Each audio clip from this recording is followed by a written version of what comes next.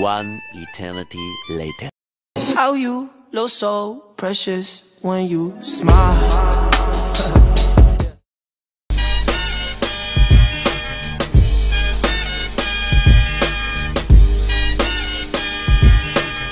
Your time